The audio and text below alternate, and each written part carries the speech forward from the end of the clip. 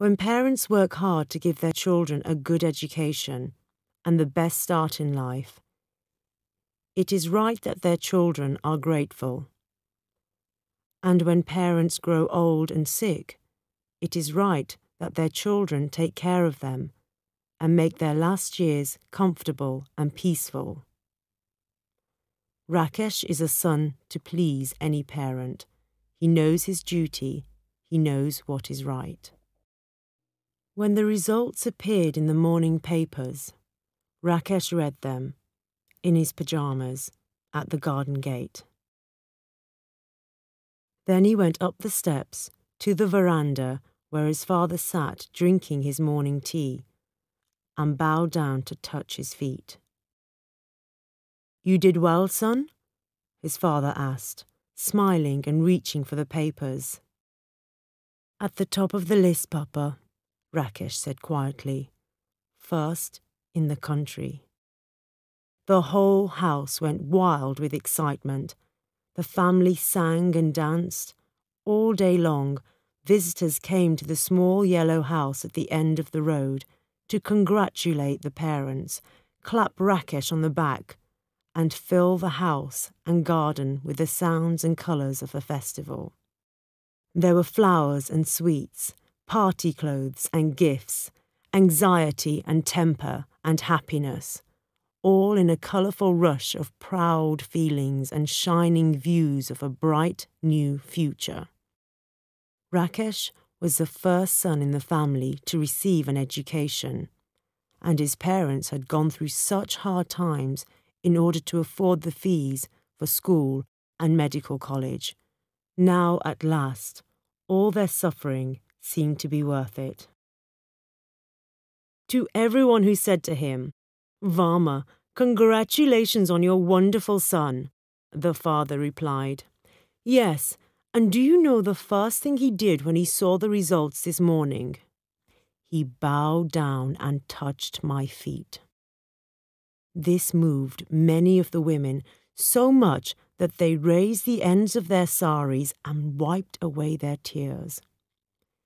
Meanwhile, the men reached out for the betel leaves and sweets and shook their heads in wonder at such excellent behaviour. One does not often see such behaviour in sons any more, they all agreed, a little enviously perhaps. Leaving the house, some of the women said, At a time like this, you would think they'd serve the very best sweets.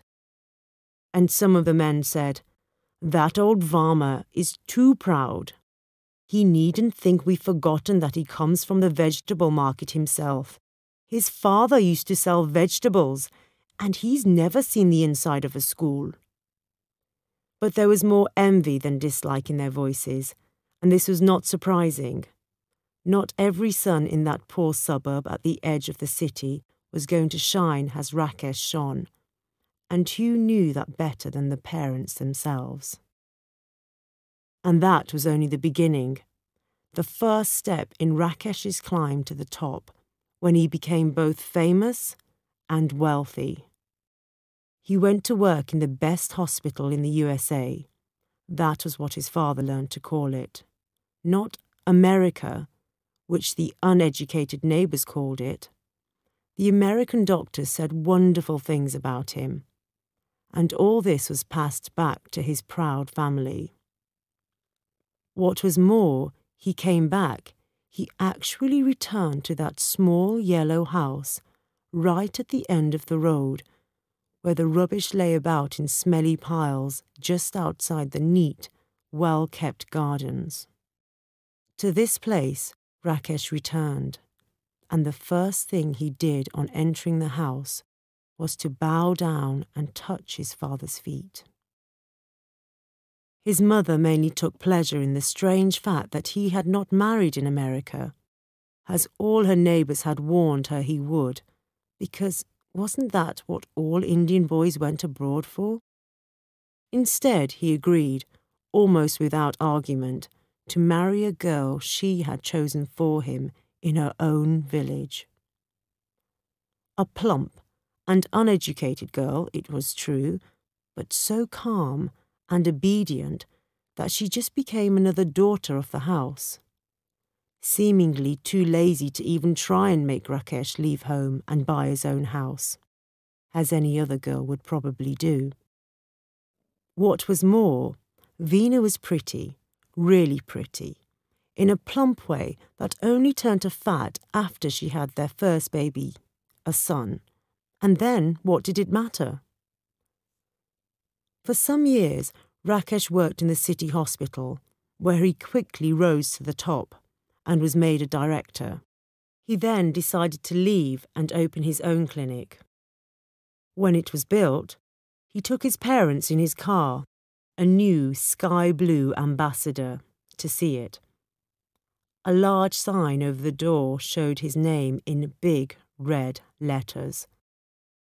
After that, he seemed to become a little less famous. Or maybe it was only that everyone in town had grown used to him at last. But it was also the beginning of his fortune, because he now became known not only as the best, but also the richest doctor in town. However, all this did not happen overnight. Naturally not. It was a lifetime's work by now, Rakesh's father had become an old man and had retired from his job selling lamp oil in a shop, which he had done for 40 years. Rakesh's mother died soon afterwards, with a sigh of happiness, because it was her own son who took care of her in her last illness and who sat rubbing her feet at the last moment. Not many women had had a son like that. Even the most envious neighbours had to agree that not only was Rakesh a devoted son, who managed to obey his parents, please his wife, show concern for his children and his patients, and keep his many friends happy, but he was also an excellent doctor. How one man could do all this, a man whose parents had never been to school, no one could understand but all respected him for his fine qualities. It is a strange fact, however, that success, if it continues too long, begins to shine less brightly. The once proud father no longer took any interest in his famous son's work. After his retirement and the death of his wife, the old man very quickly went to pieces, as they say. He fell ill so often and with such mysterious diseases that even his son no longer knew whether he was ill or just pretending in order to annoy everybody. He sat on his narrow bed for most of the day and developed another annoying habit of stretching out and lying absolutely still allowing the whole family to think he was dead. And then suddenly, sitting up and spitting out a big mouthful of betel juice at them all. He did this once too often. There had been a big birthday party in the house for the youngest son, and the celebrations had to stop suddenly when Veena discovered, or thought she discovered, that the old man, stretched out on his bed, was dead. The party broke up and the laughter turned to tears, until the old man sat up and Veena received a mouthful of red betel juice right on the front of her new sari. After that, no one much cared if he sat up on his bed, spitting, or lay down flat, grey as a dead man. Except, of course, for that jewel among jewels, his son Rakesh. It was Rakesh who brought him his morning tea and sat on the edge of the bed in his pyjamas to discuss, or rather, read out the morning news to his father. It made no difference to him that his father's only reply was to spit. It was Rakesh, too, who, on returning from work at the end of the day, persuaded the old man to come out of his room and take the evening air in the garden on the veranda. On summer nights, he ordered the servants to carry the old man's bed onto the grass and he himself helped his father down the steps and onto the bed for a night under the stars. All this was very pleasant for the old man. What was not so pleasant was that Rakesh even began to control what his father ate. One day, the father ordered Veena to make suji halwa, a rich sweet, and was really sick after eating it. Later, Rakesh marched into the room, not respectfully, but with the confidence of a famous doctor, and said firmly, No more halwa for you, Papa. We must be sensible at your age. If you must have something sweet, Veena will cook you a little kheer. That's light, just a little rice and milk. But nothing fried, nothing rich. We can't have this happening again. The old man, who was feeling weak after a day's illness, opened his eyes wide at these words. He stared, shocked at his son. He couldn't believe what he had heard. A son who actually refused his father the food he wanted? No, that was impossible. But Rakesh had turned his back and did not notice his father's look. Veena went silently out of the room with a secret smile that only the old man saw and hated. Halwa was the first thing to go. Soon everything fried was forbidden, then everything sweet, and finally everything. Everything that the old man enjoyed. The meals that arrived for him twice a day were simple, to say the least. Dry bread, boiled vegetables, and if there were a bit of chicken or fish, that was boiled too. If he called for some more, Rakesh used to shake his head sadly, saying, Now, Papa, we must be careful. We don't want another illness, do we? The old man bribed his grandson to buy him sweets in the market. But Rakesh found out and was violently angry with him. The old man sighed and lay down in his dead body position, but that worried no one any longer. There was only one pleasure left to the old man now. His son's early morning visits and readings from the newspaper could no longer be called that. His visits from neighbours. Old Bhatia, from next door, sometimes came to see him. If Rakesh were at home, he used to help his father into the garden and leave the two old men under the tree, chewing betel leaves and discussing their illnesses enthusiastically. At least you have a doctor in the house to look after you, sighed Bhatia one day. Look after me? cried Varma, his voice breaking with anger. He he does not even give me enough to eat. What? said Bhatia. Doesn't give you enough to eat? Your own son? My own son. If I ask him for one more piece of bread, he says, No, Papa. I have weighed it myself and I can't allow you any more. He weighs the food he gives me, Bhatia. That's what it has come to. Never, said Bhatia in horror. Is it possible, even in these terrible times, for a son to refuse his father food? Let me tell you, Varma whispered eagerly. Today, the family was having fried fish. I could smell it. I called Veena to bring me a piece. She came to the door and said, No. Said no? Now it was Bhatia's voice that broke. No? She said no, Rakesh has ordered her to give me nothing fried. No butter, no oil. No butter, no oil? How does he expect his father to live? That is how he behaves. After I brought him up, gave him an education, made him a great doctor. Great doctor! This is the way great doctors behave to their fathers, Bhatia. But complaining to an old friend like Bhatia did not help much. Varma was now eating so little that he soon became really weak and ill. Rakesh made him take all kinds of medicine instead of the natural foods that Varma wanted. The old man began to feel frightened and helpless.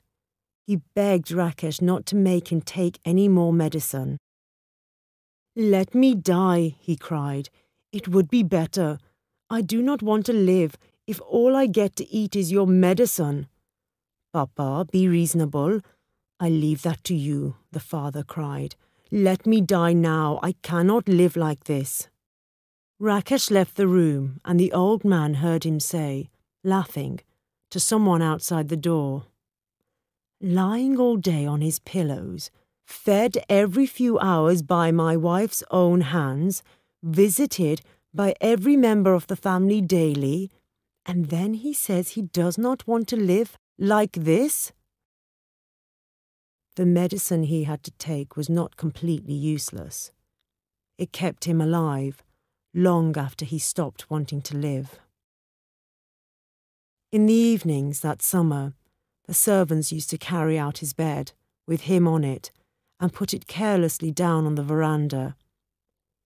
In answer to his complaints, they said the Doctor Sahib had told them he must take the evening air, and the evening air they would make him take.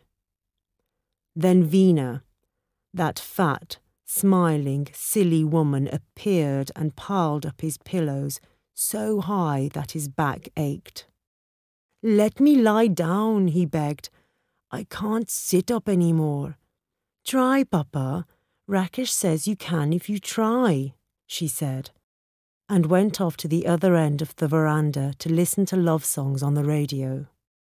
So there he sat, like a dead body, cold and stiff, watching his grandsons playing cricket on the grass and terrified of getting a ball in his eye.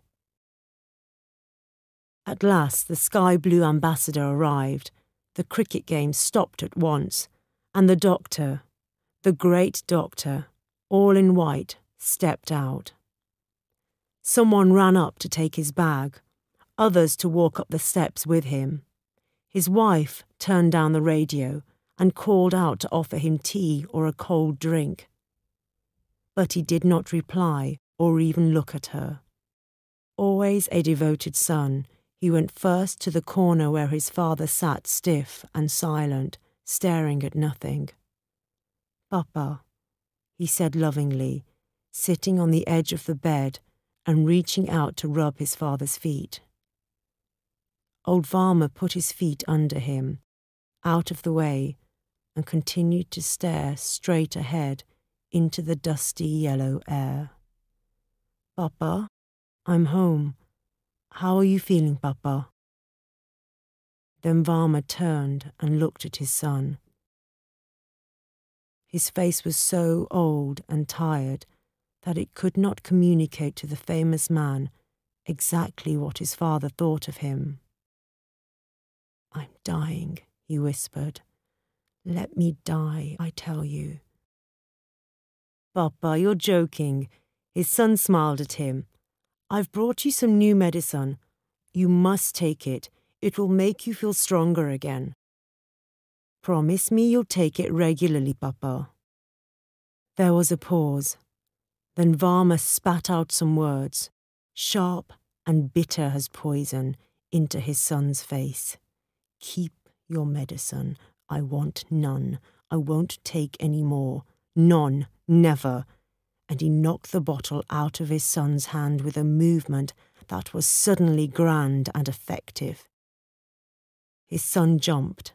The bottle smashed, and the thick brown liquid stained his white trousers.